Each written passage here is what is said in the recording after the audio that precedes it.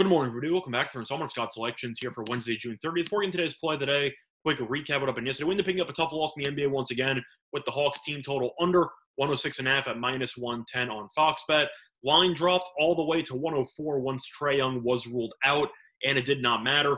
However, even though the Hawks were blowing out the Bucks for the entire game, we were actually on a good pace. Hawks only at 51 points at halftime, so we need to avoid 56 in the second half, which seemed pretty reasonable as long as the Hawks didn't blow up in one of the quarters. And, well, they scored 36 points in the third quarter, and they ended up finishing with exactly 110.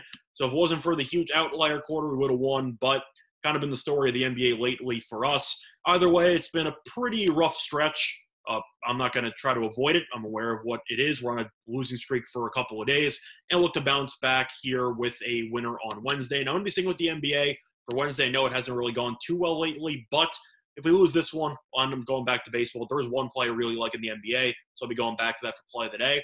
And that play is going to be on another team total. It's going to be on the Suns team total under 107.5 at minus 114 on FanDuel. Time recording of 2:20 a.m. Eastern Time. Reasons why I like the Suns team total under in this spot. First of all, Phoenix, despite being up 3-2 in the series, has really been awful as offensively as the series has progressed. Scored 120 in the first game, which is very impressive then scored 104 in the second game, then scored 92 in the third game, 84 in the fourth game, and 102 in the fifth game. So once again, if you lost track of that, the Suns have scored less than 105 points in each of the last four games. That is not good, and yet their team total is currently a 107 and a half.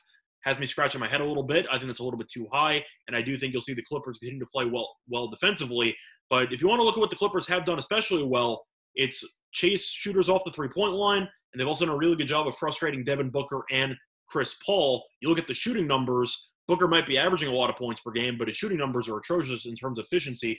Booker is shooting just 36.8% from the floor and just 31.4% from three in the series. Meanwhile, Chris Paul is shooting just 31.9% from the floor and just 9.5% from the three point line in this series. So the Clippers done a great job of limiting the two main scores for Phoenix, and I do think that that will be the case once again in this matchup. Beverley's done a very good job on Booker, did a very good job of switching, and now that the Clippers seem to be going small with Zubac having the leg injury and most likely being out for this game as well, you should see the Clippers switch a lot more because of their small ball lineup, which really has given Phoenix some fits. And I do think you'll see Phoenix struggle once again offensively. But looking at the other factor in this matchup, you got to talk about pace. If you're going to be taking an under, you need very, very limited amount of possessions, and both of these teams love to take up a ton of time off the clock. And the Clippers did play a little bit faster with the small ball lineup, but of course they slowed down after the huge 36 point first quarter in